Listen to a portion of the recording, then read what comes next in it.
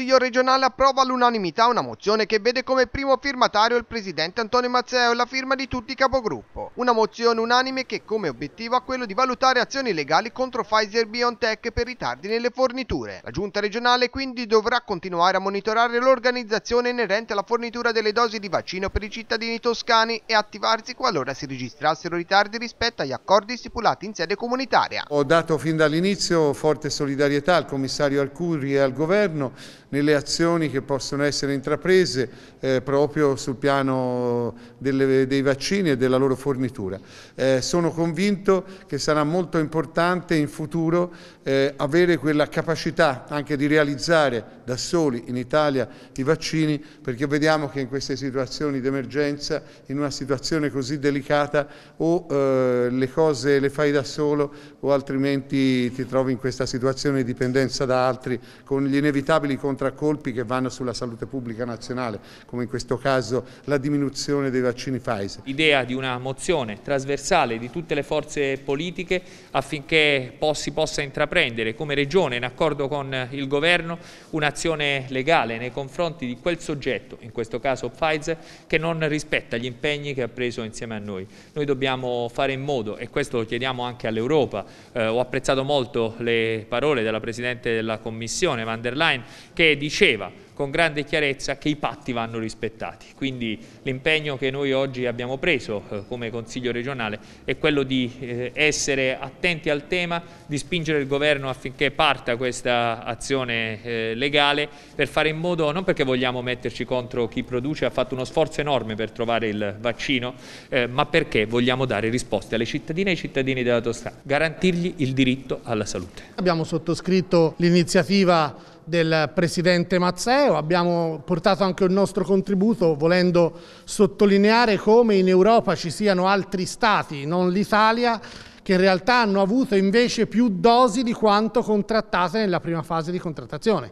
Quindi c'è qualcuno che ha avuto più dosi di quelle che spettavano dagli accordi iniziali e ci sono paesi come l'Italia e nella fattispecie la Toscana che si sentono dire da un'industria farmaceutica straniera che non ci daranno le dosi che avevano garantito di darci.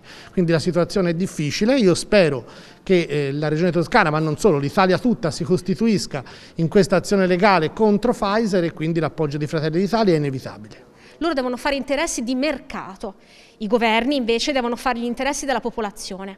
Allora io mi rivolgo ai sovranisti, ma anche a quelli che si dichiarano di sinistra. Questo è il momento di fare una scelta forze. Facciamo produrre il vaccino alle nostre aziende utilizzando questa possibilità della licenza obbligatoria, quindi in pratica rompendo un po' con le regole. Del resto è stata Pfizer a rompere gli accordi che già erano molto pesanti per il governo, eh, contrattuali nei nostri confronti, rischiando di creare un problema veramente serio per quanto riguarda quell'immunità di gregge che si allontana. Non ci bastano le giustificazioni, per questo chiediamo chiederemo, abbiamo ottenuto che la Regione Toscana si costituisca parte civile nei confronti di una impresa, di una, multi, di una multinazionale privata che aveva sottoscritto un contratto e che quel, sotto, quel contratto eh, deve mantenere perché ne va del piano vaccinale, quindi si vaccinerà più in ritardo eh, ne va anche della ripresa economica, perché più tardi si vaccinano le persone, più tardi arriverà la ripresa economica. Per questo noi siamo come dire, eh, grati al Presidente del Consiglio regionale Mazzeo di aver portato in Consiglio regionale una nostra proposta e siamo stati i primi a chiederlo. Il comportamento di questa azienda è veramente un comportamento grave che rischia di penalizzare quello che è il bene primario dei cittadini e anche dei toscani ovviamente, vale a dire la salute. Quindi eh, l'auspicio e il sollecito che rivolgiamo è che si, tutto, che si faccia tutto in tutte le sedi affinché Pfizer riprenda la fornitura dei vaccini così come si era impegnata a fare ed eventualmente abbia quelle penalità se sono previste e possibili da applicare che si merita. È una mozione che chiede di fare luce, fare massima attenzione e velocità, che chiede rispetto per gli impegni presi con la nostra Regione.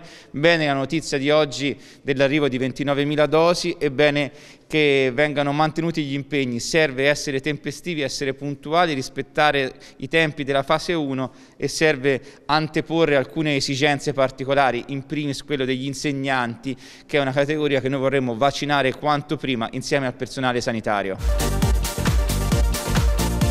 Cos'è la memoria oggi e come possiamo darle valore? La memoria non serve soltanto per ricordare ciò che è accaduto, ma deve essere un vaccino contro ogni ritorno di quella disumanità liberticida. Così parte l'intervento del Presidente del Consiglio regionale della Toscana Antonio Mazzeo in apertura di seduta solenne nel giorno della memoria tenutasi martedì 27 gennaio. Il germe della memoria vuol dire far fiorire, far germogliare fiori nuovi, fiori di speranza io lancio solo un messaggio alle ragazze e ai ragazzi toscani, non siate mai indifferenti perché quello che è accaduto può accadere di nuovo, non voltatevi mai dall'altra parte quando ci sono soprusi, quando ci sono cose che non funzionano, mantenete sempre alto l'ideale eh, che ha fatto di questa terra, della Toscana, il luogo in cui davvero si è combattuto contro le tragedie e le barbarie di quel periodo. Il nostro eh, simbolo, che è il nostro Pegaso,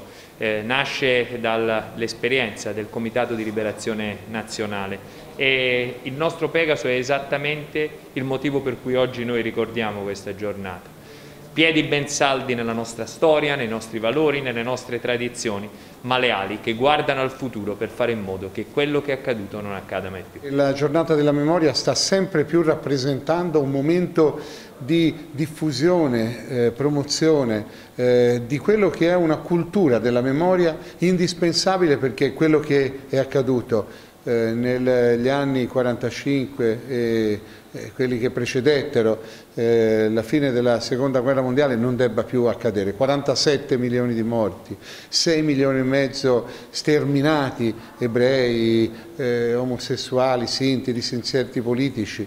La cultura del totalitarismo portò a una malvagità eh, che mai abbiamo avuto nella civiltà umana. E, il vaccinare, eh, il rendere immuni i nostri giovani da quei valori, eh, quei disvalori è un elemento essenziale nella, eh, nel ruolo, nella promozione eh, dei valori che invece costituiscono l'elemento poggiante della nostra Costituzione, del nostro vivere civile verso i nostri giovani. Credo che eh, siano fatti che debbano essere ricordati, che devono essere conosciuti, che devono essere tramandati nei confronti dei giovani perché non debbano accadere mai più.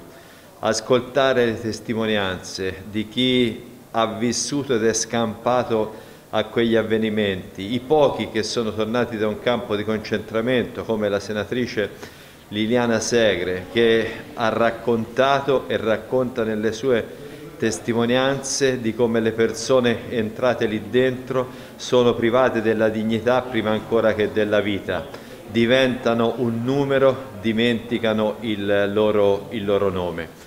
E credo che eh, la Toscana fa bene, è sempre stata molto attiva nel custodire questa memoria, nel farla vivere e nel tramandarla. E io proprio ieri sono andato nel mio comune a firmare la proposta di legge di iniziativa popolare promossa dal sindaco di Stazzema, altro luogo della nostra memoria scolpita, una delle più grandi stragi che sono avvenute nel Paese e che sono avvenute in Toscana, per colpire duramente quelli che fanno apologia del fascismo, quelli che promuovono una ideologia che è stata ovviamente al servizio e a fianco del eh, nazismo e credo che questa vada perseguita in tutti i luoghi, anche nei social network dove eh, i nostri ragazzi, i nostri giovani eh, li affollano forse più di ogni altro luogo. Anche questo significa salvaguardare e nutrire una memoria e questo è un nostro dovere. Il tempo inevitabilmente ci sta sottraendo i testimoni di quella memoria terribile che ha macchiato l'Europa e direi il mondo intero per quello che è successo. E quindi noi adesso abbiamo l'onere e l'onore di portare quella testimonianza, che è innanzitutto memoria, ma non memoria fine a se stessa, memoria che deve essere poi rielaborata anche nel nostro quotidiano, perché ci insegna a riconoscere quei segnali ci, facciano, che ci fanno capire che quel tempo può ritornare, perché nessuna libertà, nessun diritto si può dire acquisito per sempre. Ecco cosa ci insegnano questi giorni, ecco cosa ci insegnano i testimoni. Soprattutto riportarlo nella modernità di oggi, quando i social, i media, la comunicazione è potentissima e sappiamo bene la comunicazione quanto ha significato nel spargere l'ideologia che sì lo chiamiamo nazista, ma che come ci hanno ricordato oggi il professor Bozzini e Ugo Caffaz ha macchiato inesorabilmente anche la storia italiana di quei decenni. Memoria che deve essere continuamente portata avanti, concretizzata. Lo dico con forza, ci sono in Europa troppi segnali negativi ci sono regurgiti fascisti, nazisti, anche in Italia. Pochi giorni fa, ad esempio, nella mia Arezzo, eh, nella passeggiata virtuale nei luoghi ecco, della tradizione ebraica, eh, è stato eh, aggredito eh, il giornalista Marco Botti, solo per fare un esempio. Queste sono cose che vanno biasimate vanno condannate con la massima determinazione. Mai più fascismo, mai più nazismo. Compito degli insegnanti è quello di non fare altarini e di non scadere in celebrazioni. Dobbiamo fare sempre domande alla storia. Questo è il senso dell'intervento di Giovanni Gozzini che ha inteso spiegare come anche sotto i regimi totalitari ci potesse sempre essere una via d'uscita. È una storia che abbiamo saputo da poco, relativamente poco, perché sono 1600 ebrei nascosti da altrettante famiglie tedesche nel cuore del Terzo Reich, cioè dentro la città di Berlino. Loro si chiamavano U-boat, scherzosamente gli U-boat erano i sommergibili della marina militare tedesca, indicava il loro stare nascosti, sommersi per non essere catturati.